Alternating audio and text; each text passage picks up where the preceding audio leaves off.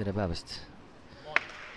tennisesõbrad Pärnus Pahva Openil meeste kümne tuhande dollari turniiril on algamas esimene poolfinaal, kus kohtuvad Kennet Raismaa, see on kindlasti rõõmusõnum, et Eesti tennisist jõudis nii kaugele, ning hollandlane Antal van der Duim, turniiri nimekaim mängija kindlasti, kuigi mitte esimese asetusega seekord.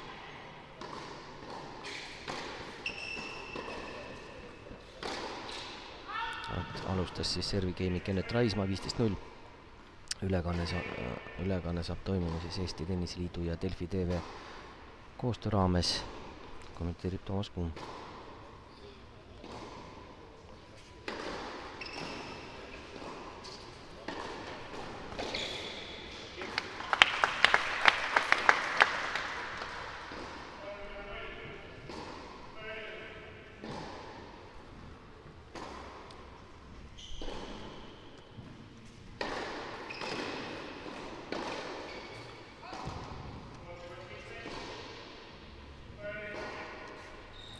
kolmkümmend viisteist.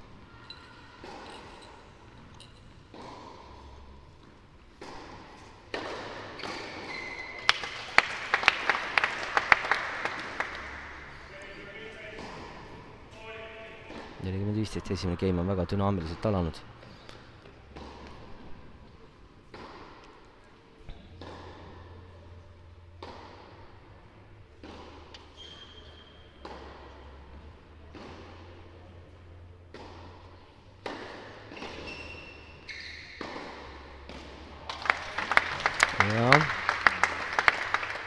hoiab kindlalt oma servi game'i ja üks-null.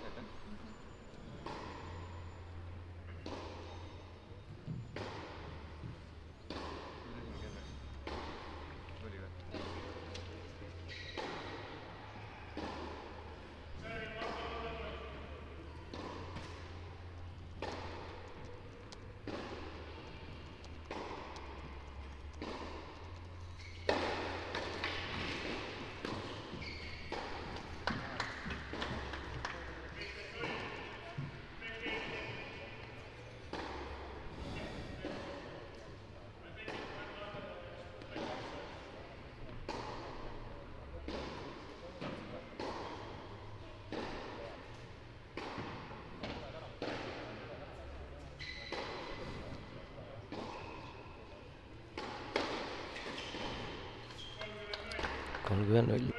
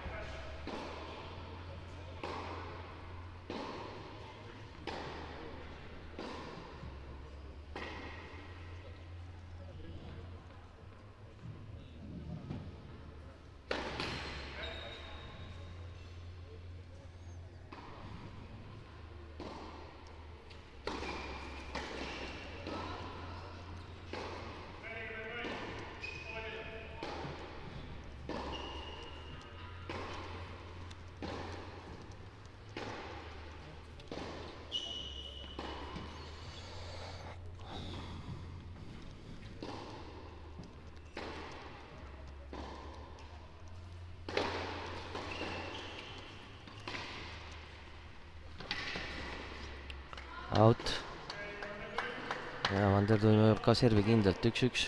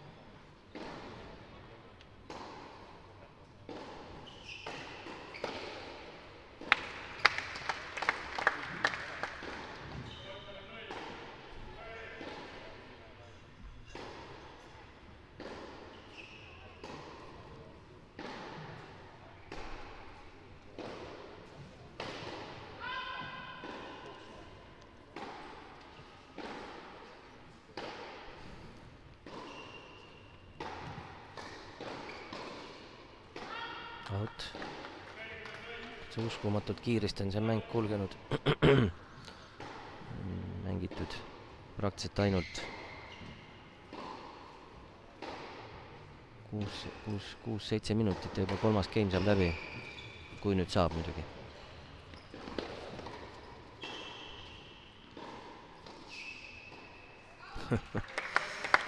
Jah, päris naljakas palju vahetusi ja kaks-üks juhib Raismaa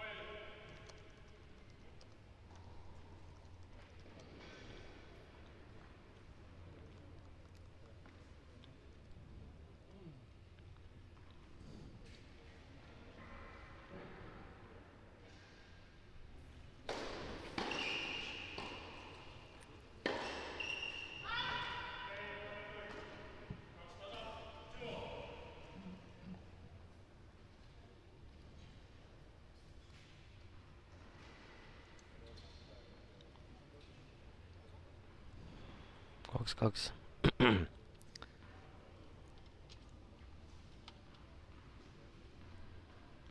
selline vaikus on ka tribüünidel nagu äraootav hetk, et midagi, millal siis lõpuks midagi sellist suuremat hakkab toimuma, et meil tõesti pikki punkte pole üldse praktiliselt olnud. viisteist null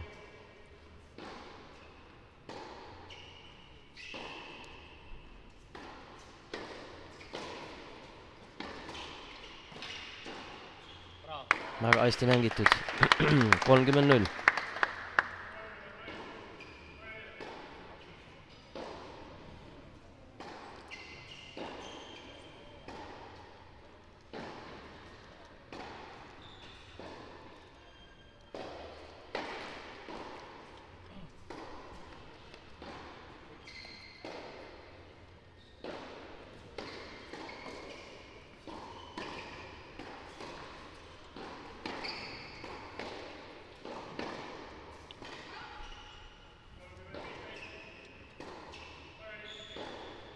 kolmkümmend viisteist. huvitav oleks statistikat näha ka mingi hetk, et mis, mis need numbrid, servi protsendid, palju on siis servist võidetud punkte, et no eks see vaatepilt näitab, et momendil pole kellelgi raskusi oma servi hoidmisega olnud. Oi-oi-oi, nüüd alguses siis oli tõrjest Ander Tuimi löök tripsust. Mõnes mõttes oli jah, siis oli sunnitud äh, tulema Kennet võrku ja mm, niisugune ohtlik moment oli küll võib-olla, et kui see pall oleks ka ilma võrgupuuteta lennanud, oleks Vander Tuim juures olnud ja ütleme, et oli, oli siiski rohkem õnne oli Kennetil ja jälle punkt Kennet. ja Kein kolm-kaks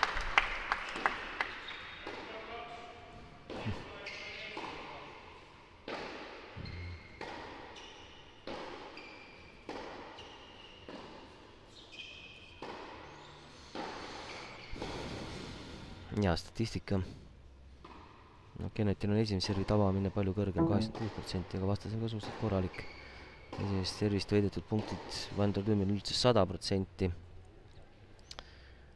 üheksakümmend kaks Raismaal, ka tugev, aga teiselt servilt jälle, nagu me näeme, on, on võitnud Raismaa pooled punktid, noh, Vander Tuim pole oma servilt ühtegi punkti kaotanud.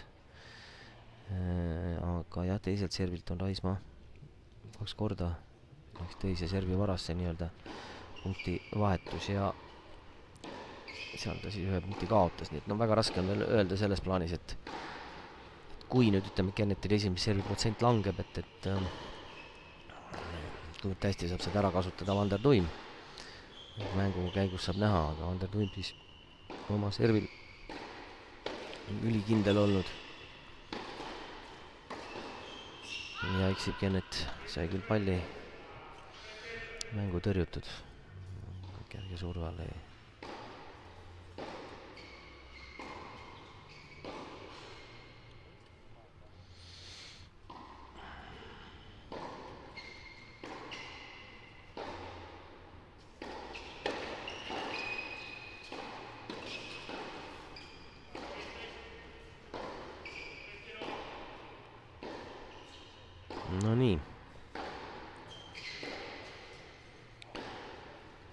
esimene punkt siis ka Vander Tuimi servilt Raismaa saanud kätte. hakkab siis lõpuks midagi toimuma ka. ma mõtlen, et mitte seda, et ei ole toimunud selles mängus miskit, aga kuidagi liiga lihtsalt on see kulgenud.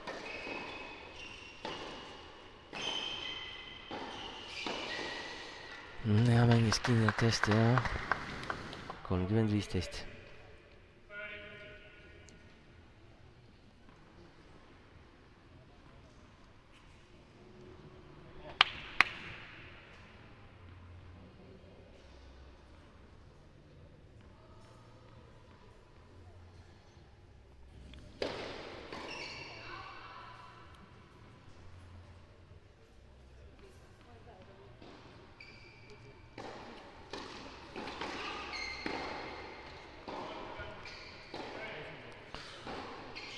tasa kolmkümmend. no nüüd on see kõige siis, võib öelda, et nagu justkui kõige tasavägisem game selles mängus.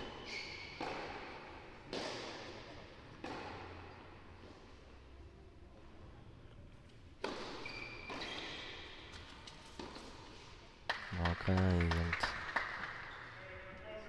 oota, kas ta siis, Kennet kahtles servis või ma ei tea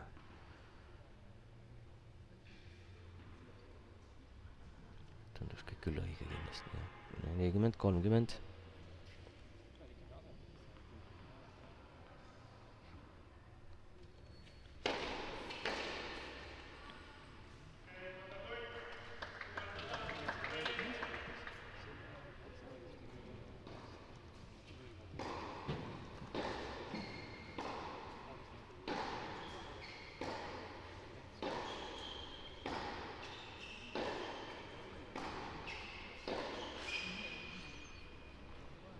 Kolm,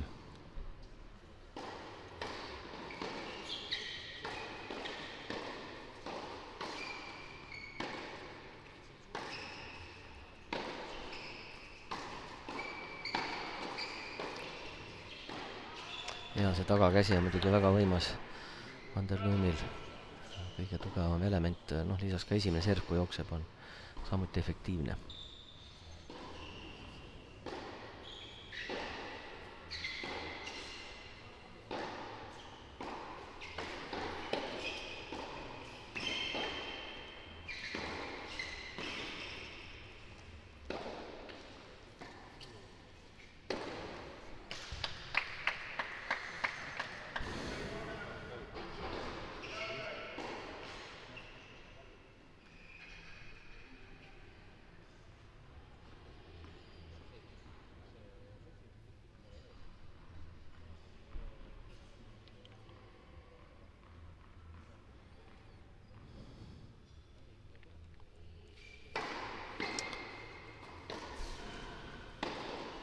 jaa, et tundub, et nüüd, nüüd pani käigu, väikse lisakäigu pani hollandlane juurde ja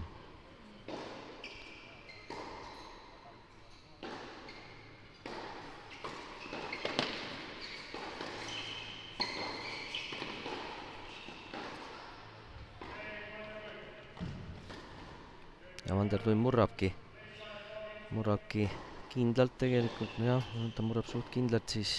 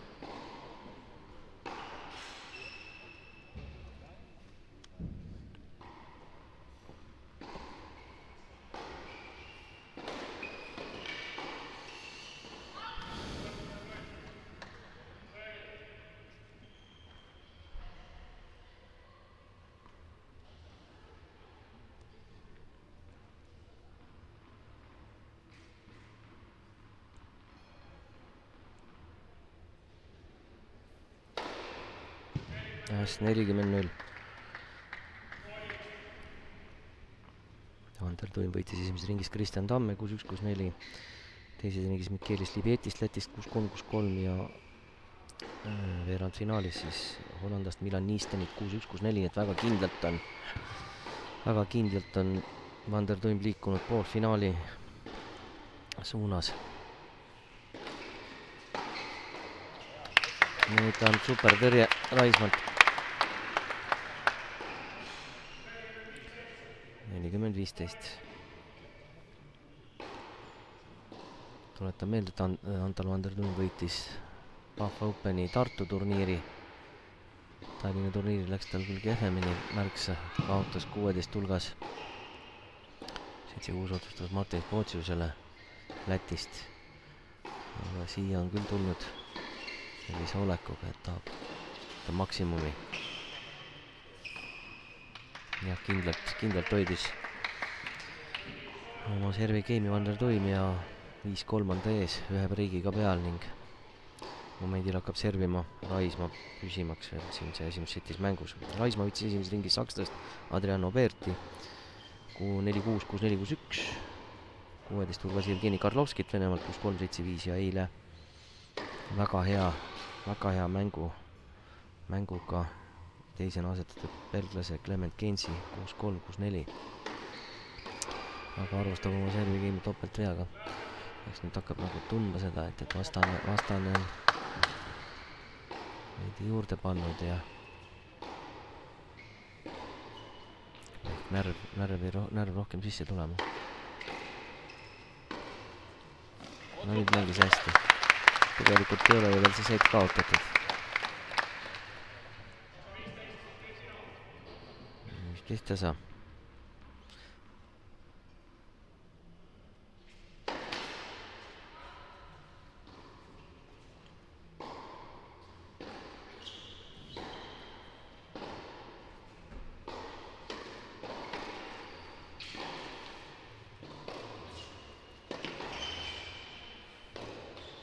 nüüd ehk siis Tahtis kavalalt mängida, kolmkümmend viisteist ja teises poolfinaalis mängivad Tšehh Petr Mitšnev, kes eile võttis Vladimir Ivanovi veerandfinaalis kuus neli, kuus kaks ja või väikest viisi võib-olla üllataja, rootslane Isak Arvitson, mis Mitšneviga mängib? Ja tasetatud mängijatest jõudsid poolfinaali, jõudis ainsana poolfinaali Vander Tuim Hollandist. nelikümmend viisteist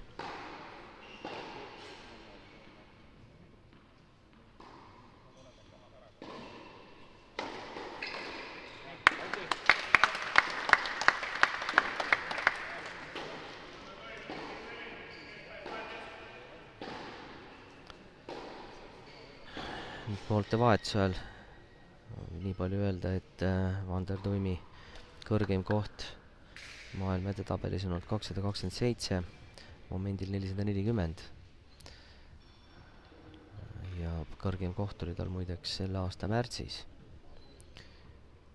paaris mängus, aga kõrgem koht olnud sada nelikümmend üheksa, nii et igati arvestatav mängumees eelmise hooaja kaks tuhat neliteist aasta lõpuks oli ta kolmsada kuus. Turniirivõite, Futures turniiri võite on Vander Tummil sel aastal kaks tükki, üks nendest siis Tartu turniir, eelmine aasta neli turniiri ja varasematest aastatest veel samuti neli, nii et äh, kokku kümme turniirivõitu paarismängus on neid juba nii palju, et, et siin ei ole äh, mõtet sellel pea, pea pikemalt peatuda. ja kahekümne kaheksa aastane, nii et äh, kogenud, kogenud mängumees igal juhul.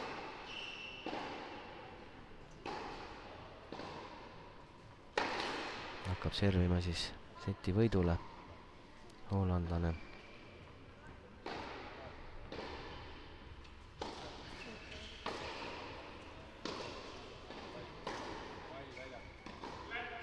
kukkus väljakule pall, et kust see huvitav see pall tuli nüüd.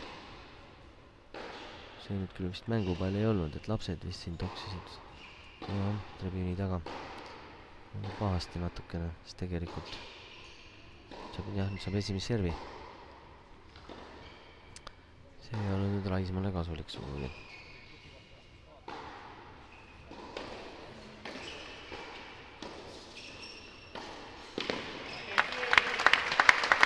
ja nüüd Vander Tuim noh, püüdis nüüd kavalalt mängida, aga no löögid jäid tal ikka väga lühikeseks. ja sealt oli Raismaal hea, hea passeerlööki sooritada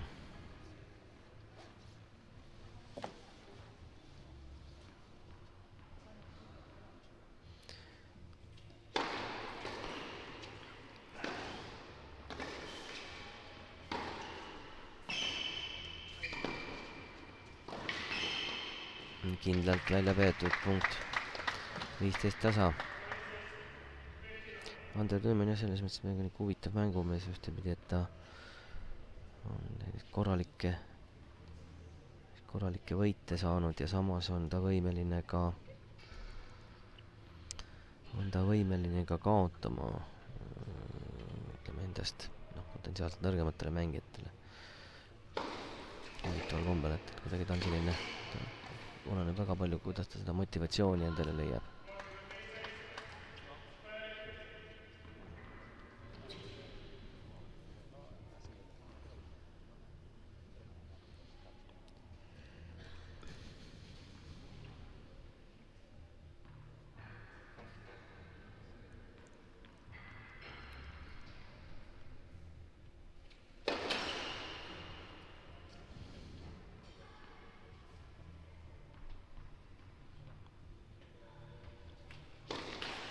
Ja topeltviga. jaa, kolmkümmend tasa, ühe korra on olnud juba selline seis Ando Tunni servil. pisiku, pisike lootus on. järgmise punkti on, järgmine punkt õnnestuks Raismaal võtta, siis ta saaks murda palli. viga. no selles skeemis ei ole see esimene serv nii hästi jooksnud. saanud teatavad šansid aga see tõrje nüüd ei olnud minu meelest kõige parem. jaa. vaatame.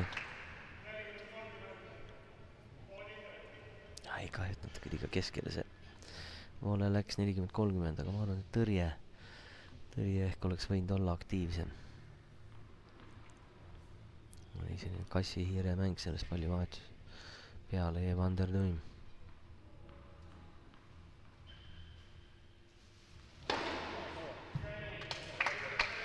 jah, lõpetab, lõpetab ässaga selle game'i ja esimese seti Vandertuim kuus-neli.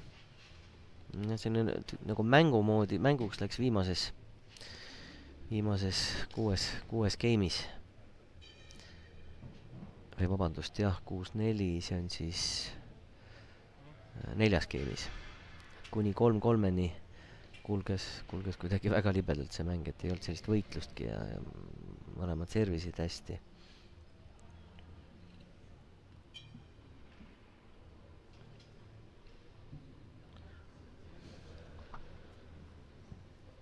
nii, esimese seti, esimese servi protsent on ikkagi Ennetil endiselt kõrge, kaheksakümmend kolm protsenti. Vandernõmmil kuuskümmend esimeselt servilt võidab üheksakümmend kolm protsenti punkti, Vandertuim ainult ühe punkti kaotanud. Genetil seitsekümmend neli, noh, enam-vähem talutav protsent. teiselt servilt viiskümmend protsenti võitnud Raismaa punkte, nii et ja vastane kuuskümmend. aga ainult üks murdepall on olnud äh, mängus ja see on olnud Vander Tuimil. nii et kui nüüd, nüüd numbreid vaadata, siis need vahed on äh, suhteliselt väiksed, väikesed aga no mängupildil jah, veidi, veidi, veidi ikkagi Vander Tuim oli parem. tundus, et tema punktid tulevad veidi kergemini. viisteist null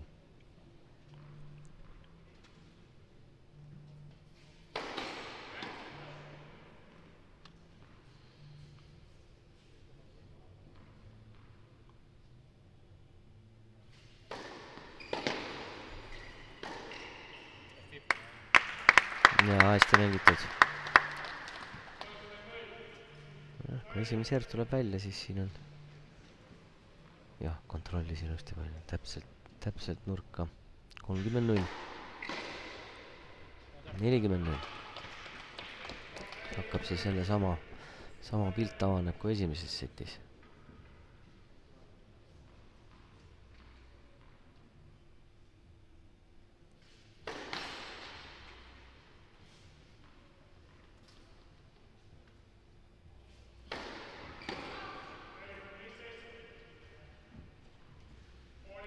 viga, nelikümmend viisteist.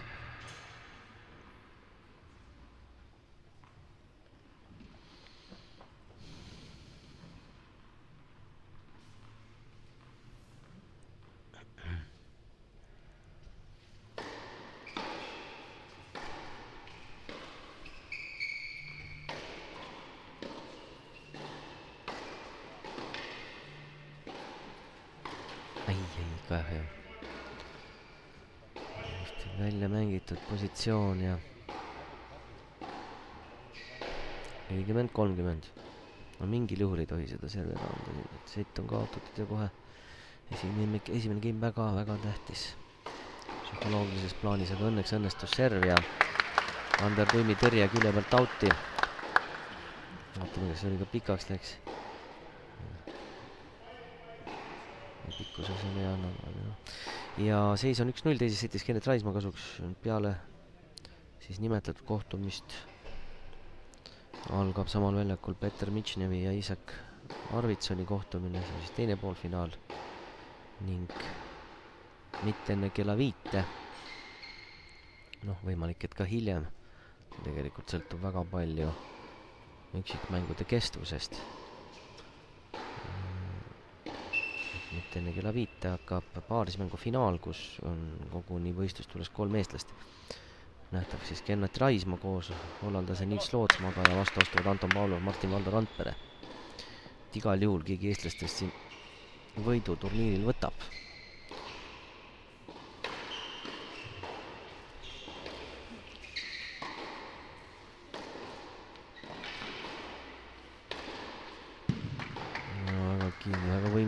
Mängitud. teised kiirused kui, võrreldes eilse, eilse belglase esitus, siis siin Vander toimib, pall lendab ikka märksa kiiremini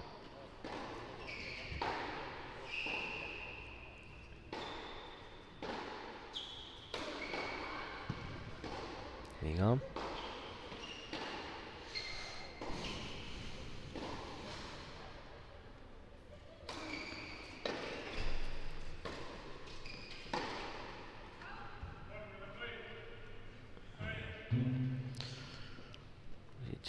Positsiooni mõttes ei olnud, ei olnud see paha positsioon.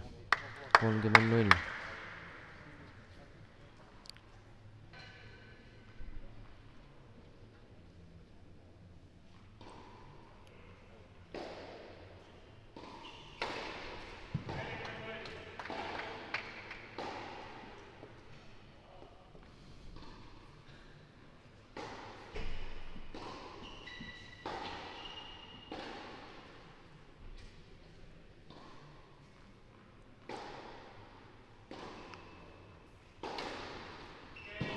fantastiline servi, servikaur.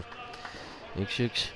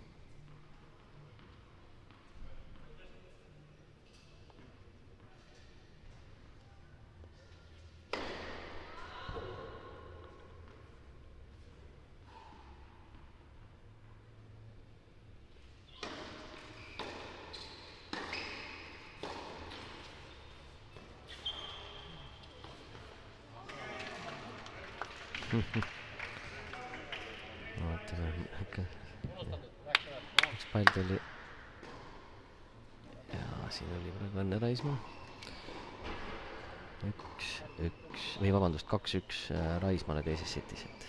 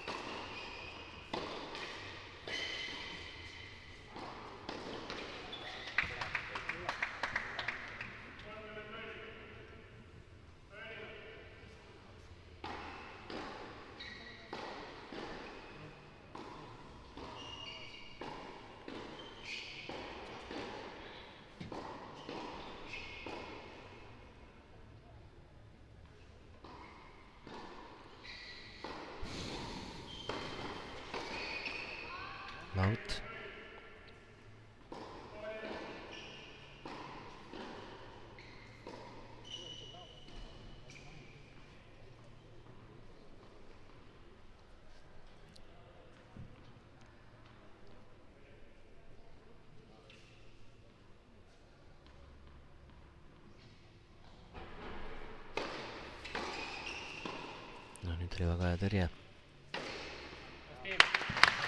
nelikümmend viisteist.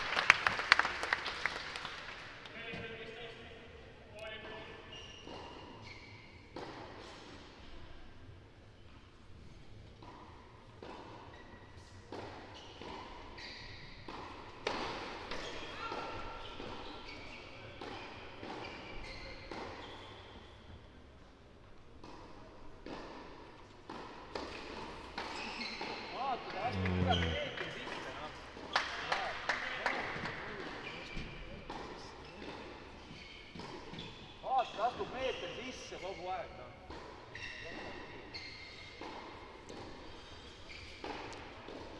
kaks, kaks.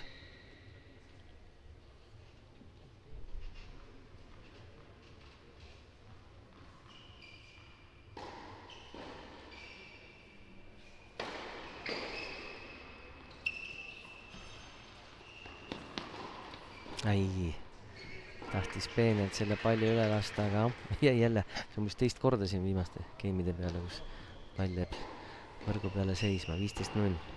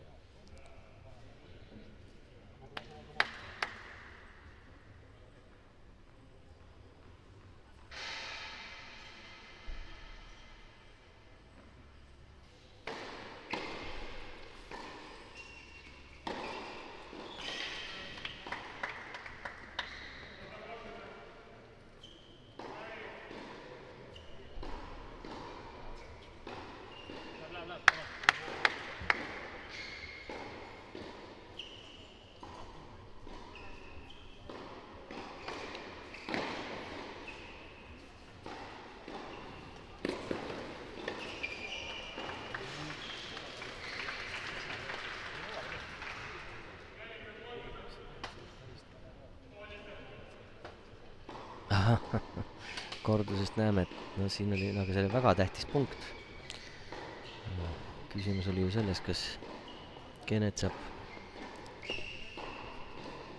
geimpalli või tuleb vastasele murdepall. jaa, see peaks auto minema, nii ongi ja Genet Raismaa hoiab oma servi, kolm-kaks juhib teises setis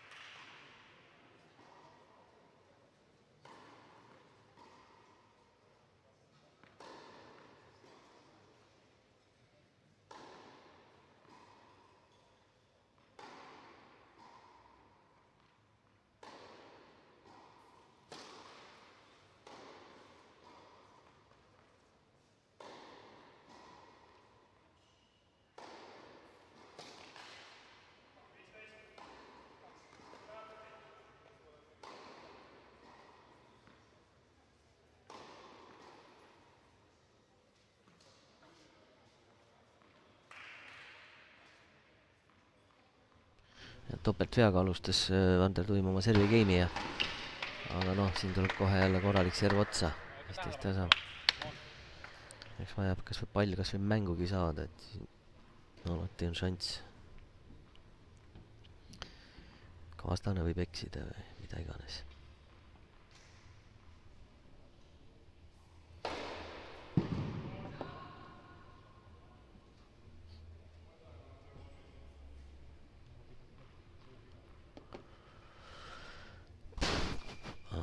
vaatasin, kuidagi huvitanud see pall. nii. siin enne juhiti tähelepanu ka Puki kohtunik Arvo Pramanis ütles, et, et äh, tundus, et hollandlane tegi vahepeal ikka väga jalavea piiri, väga jalavea piiril mängis.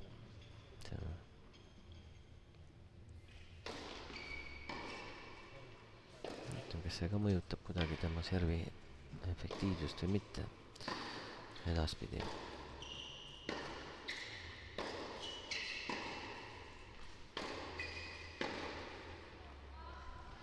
close.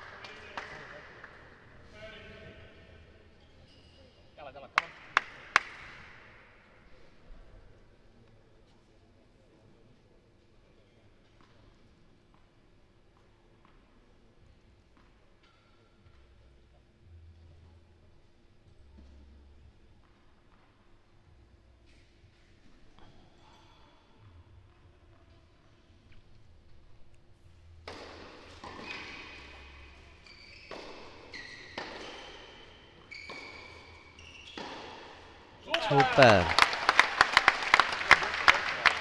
ja mõlemil on tegelikult tagakäsis tugevam külg mängus. kolmkümmend tasa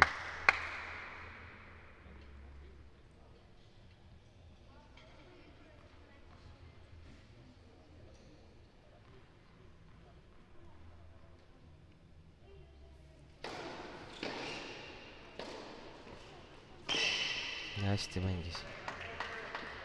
Ja üldse tugevalt alati lööma, aga ilusti ära paigutatud see löök ja nelikümmend, kolmkümmend.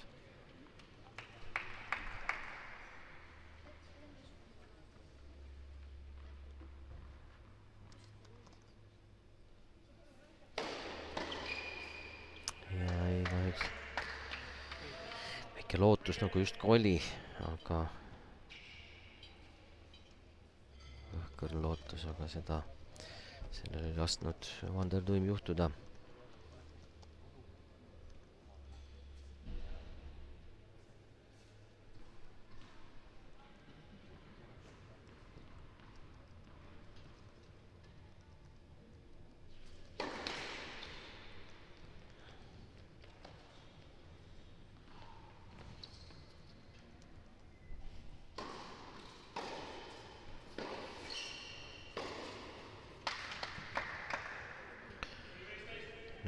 see kolm-kolm ja eelmises setis oli samamoodi kolm kolme peal murdis Vander Tuim Raismaa servi. nüüd kindlasti paneb, paneb nii-öelda natuke tuure juurde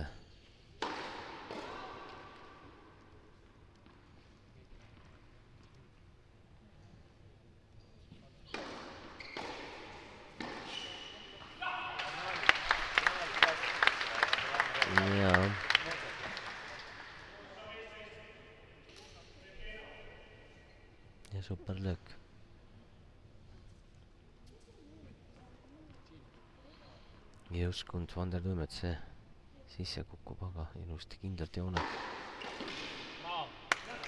väga hea serv, väga hea esimest servi ja küll siis see, siis ei, siis Vander Tuim on ikka märksa ohutum. esimene servi protsent on vaja kõrge hoida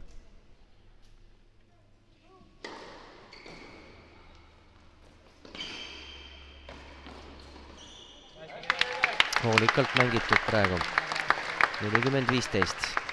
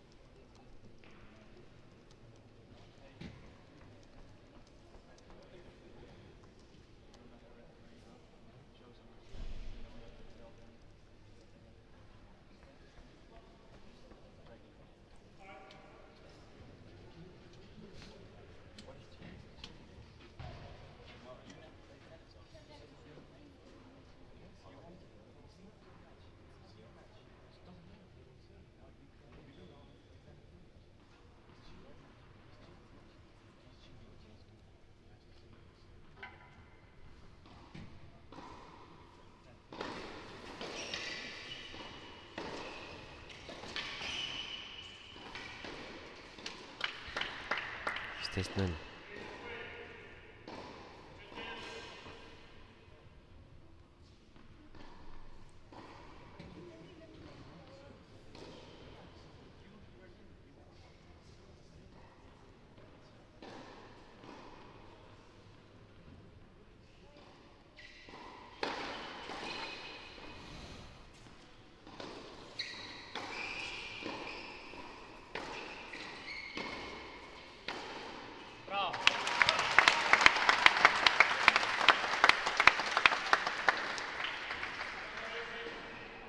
saanud seda lööki.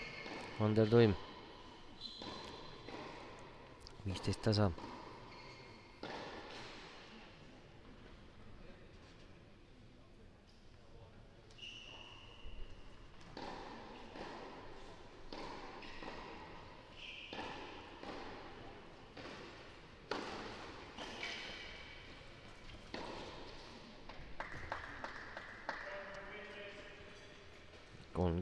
есть.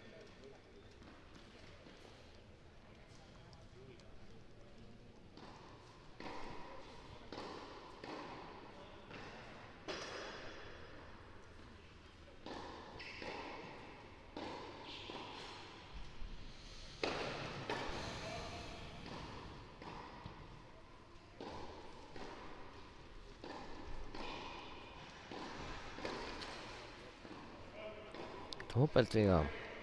no neid aeg-ajalt tuleb tal sisse jah.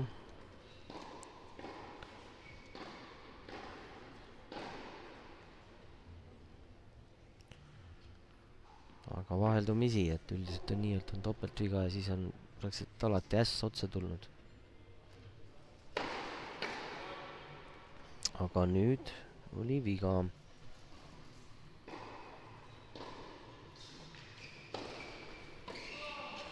ai, ai, ai, ai, ai, ai, ai, ai, kas kehasse tuli see pall või kordus tuleb? tundus küll nagu mängitav see pall. kahju. nelikümmend, kolmkümmend.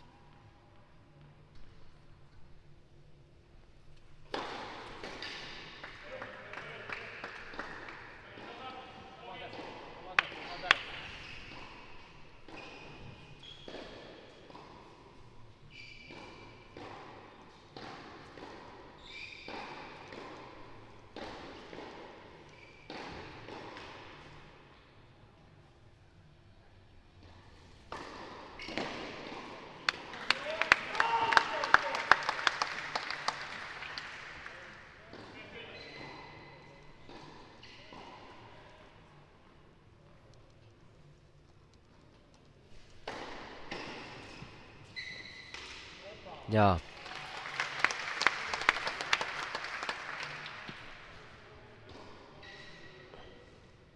praegu natuke segas, natuke segas vist, noh, väitis küll seda, et keegi inimene liikus tribüünil, aga noh, tegelikult see punkt oli võidetud ikkagi enne või noh, selles mõttes, et sellepärast ta nüüd ka punkti ei kaotanud.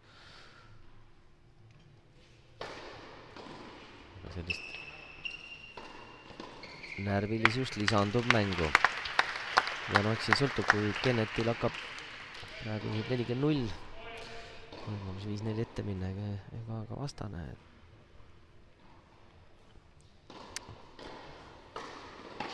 satub, satub rohkem pinge alla, et, et võib-olla seni oli ta suhteliselt suureks närveerimiseks põhjust ei olnud, aga pettis ära praegu Raismaa oma serviga vastase. tundub, et ootas. ei saa öelda, et ei oodanud eestkõne, aga ebaõnnestus tõrje. Ütleme, et tõrje võib-olla ei olegi ta kõige parem külg Vander Tuimel, et serv, et esimene serv on hea jah, tagakäelöök, aga see tõrje, tõrjega on eksinud päris palju. viis-neli Raismaale teises setis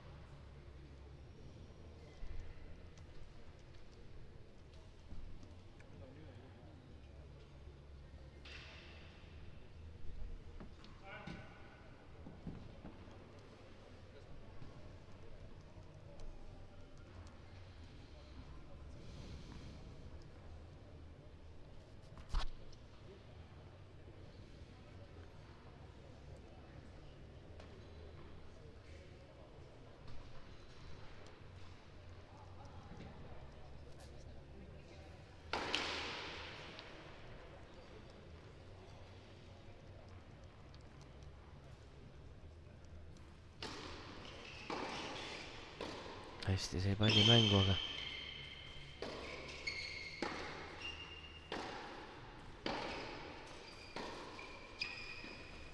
no nii, saab kätte Vander Tuim selle, aga väga hästi oli tagasi lühikese palli. ütleme sellistest mängudest, kus Kennet analoogse lühikese palli võrgu taha lõi, siis ikka Vander Tuim saab selle kätte ja, ja sooritab löögi palju paremini, teised küll ütleme, oli ta hädas. Kaile Gens Belgiast oli suhteliselt palju, oli palju hädas selle palliga, aga Vander Tuimile see ei valmista nii palju probleeme.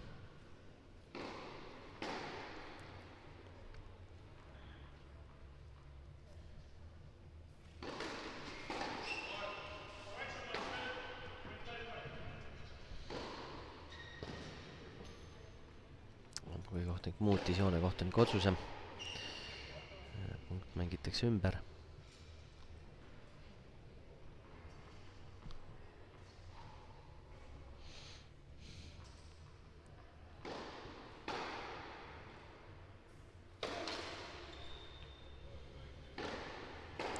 alati, kui Commander Rõmmis esimene serv ei tule, siis on lootuse, lootuse kiir. ikka see tõrje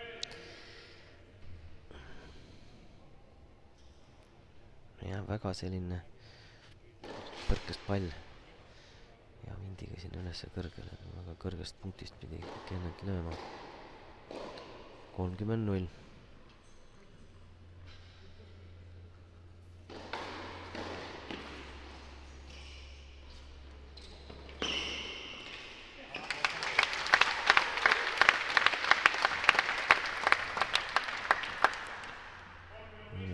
Nüüd jäi Vander Tuimil jälle see lõike või vabandust, see stopp jäi, ütleme, veidi pikaks ja kolmkümmend viisteist.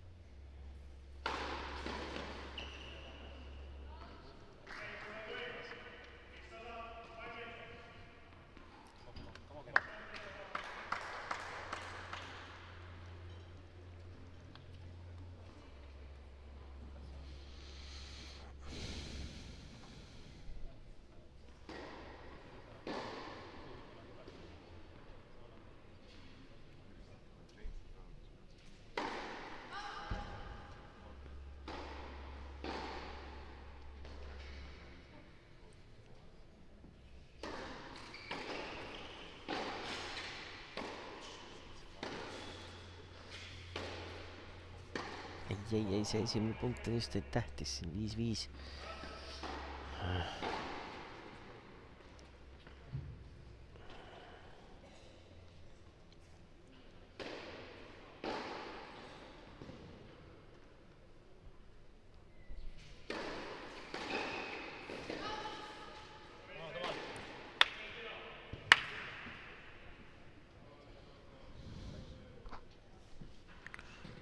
teist ei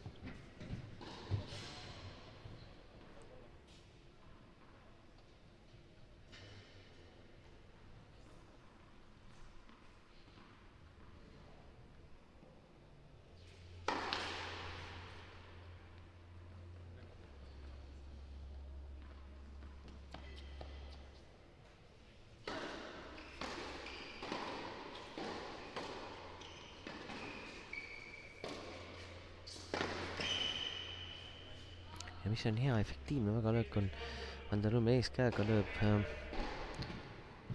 väljaku keskele küll väga hästi madala palli, võrgu kohalt hästi madalalt lendab üle palli ja üle palli ja samas kui eelneva punkti või löögi ajal on äh, Kennet neid kaugele jäänud tahajoonest eemale, siis peab vastu ja veidi ka külje peale liikuma, nii et see positsioon valmistab probleeme ja nüüd on viisteist nelikümmend. võib öelda, et kaks varjatud matšpalli hollandlasel.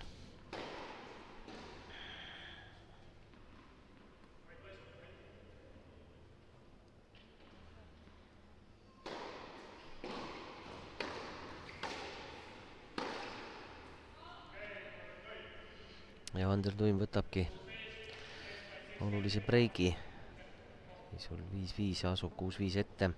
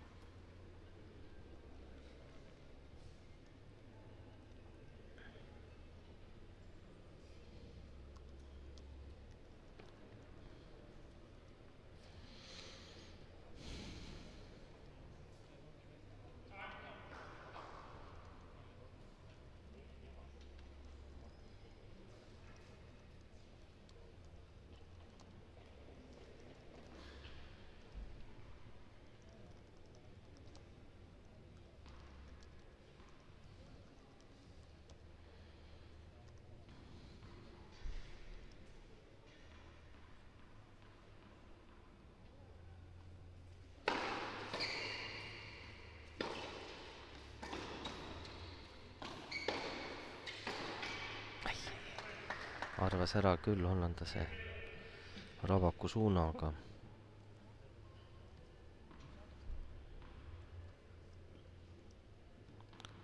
sellest ei piisanud.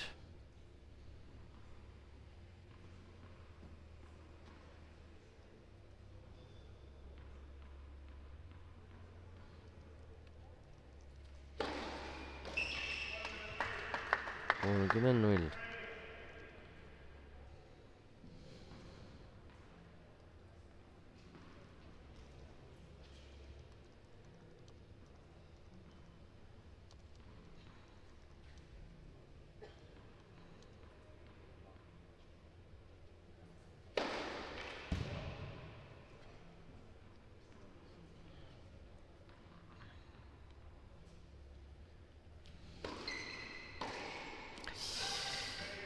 ja läheb ikkagi ära.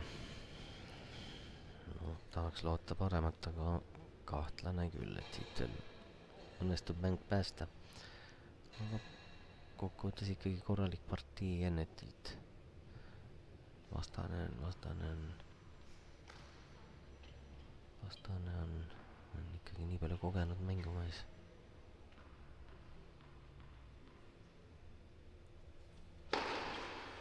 ja lõpetab ässaga, nagu tal omane. kuus, neli, seitse, viis ja esimene finalist on Anton van der Tuun Hollandist. ja varsti tuleb peale teine poolfinaal, Michnev Arvitson. sealt siis selgub Van der Tuimi finaali vastane